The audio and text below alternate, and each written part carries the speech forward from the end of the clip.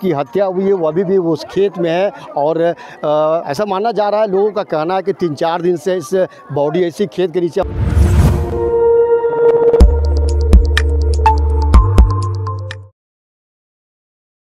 नमस्कार आप देख रहे हैं साथियों मैं देवेंद्र सिंह लड्डू। कहते हैं कि पटना सिटी में किसी की नज़र लग गई है चाहे वो लूट हो चोरी हो छीना झपटी हो।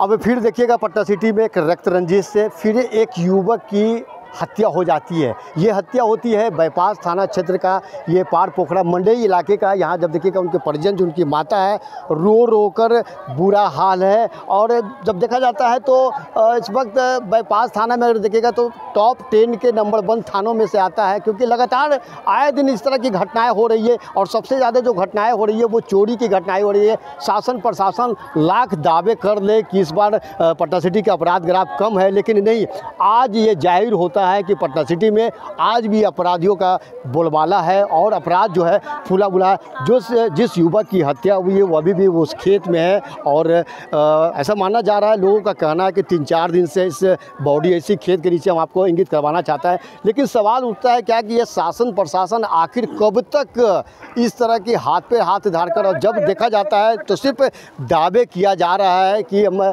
अपराधियों को ढूंढ निकालूँगा, कार्रवाई करूँगा, लेकिन सिर्फ़ कागज़ी कार होती है और यहाँ जब देखेगा इर्द गिर्द के मोहल्ले के जो सैकड़ों की संख्या में एक बार फिर एक युवक की जान चली जाती है। क्या कुछ मामला है? हम चल, सीधे चलते हैं। bypass थाना का जो प्रभारी है जो अधिकारी है उनसे सिर्फ़ जानकारी लेते हैं कि आखिर ये अपराध खास करके बाईपास थाना क्षेत्र में इस तरह की लगातार घटनाएँ क्यों हो रही है?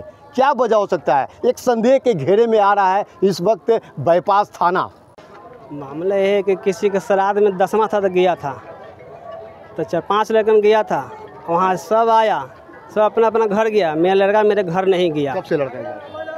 तो आज हो गया चौथा दिन। अच्छा थाना में आपने थाना में कल साढ़े नौ दस बजे लग गए थे हाँ, हाँ। रिपोर्ट किए तो कहें कि सुबह सुबह आवेंगे। हम्म। लेकिन सुबह तक नहीं आए फिर दोबारा गए हाँ। तो कहें कि ग्यारह बजे लावेंगे।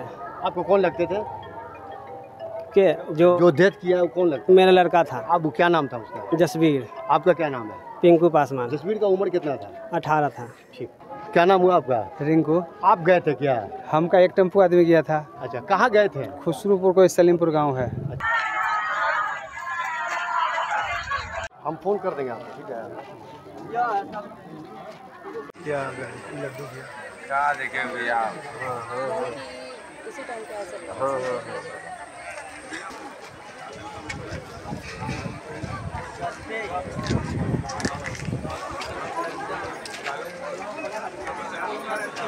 कहाँ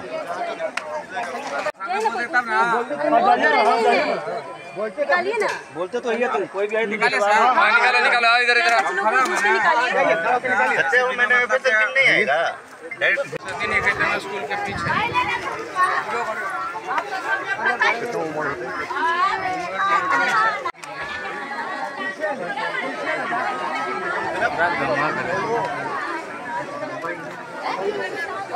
है